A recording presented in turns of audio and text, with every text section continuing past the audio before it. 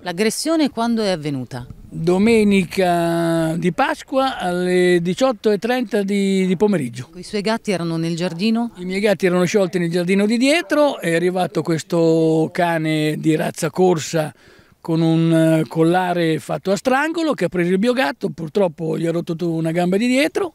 Io sono riuscito a liberare il cane perché eh, mi sono adoperato con un bastone di, di legno il cane mi si è rivoltato contro, ho dato altre due botte sulla testa, il cane è fuggito a direzione eh, opposta da dove è venuto perché è uscito da via Sacco e Vanzetti e è fuggito verso via della colonna. Ho cercato di rintracciare il cane in bicicletta, non ci sono riuscito. Tutta lunedì abbiamo girato per trovare il padrone, non ci siamo riusciti, quindi io vorrei sapere se è possibile rintracciare il padrone per avere un'idea di sapere se c'ha un'assicurazione in modo da poter ripagare le spese che il mio gatto stamattina viene operato in clinica. È fuori pericolo? Sa? Dovrebbe essere fuori pericolo, però ancora deve essere operato, quindi la risposta la so stasera, come va, se riesce a camminare, se gli devono tagliare la gamba, questo, questo non lo so.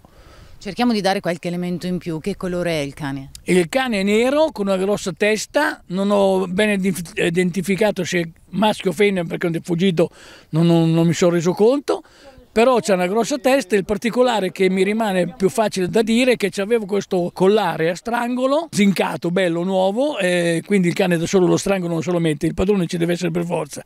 Quindi se qualcuno sa di questo cane in giro per Fano che mi faccia sapere qualcosa, non so come, ma mi faccia sapere qualcosa. Anche tramite Fano TV non ci sono problemi. Tra l'altro ci raccontava eh, prima che fino a pochi giorni fa teneva il guinzaglio al suo, al suo gatto e ai suoi gatti. Il guinzaglio per fargli capire che qui di dietro potevano girare tranquilli. La tranquillità qui di dietro non esiste.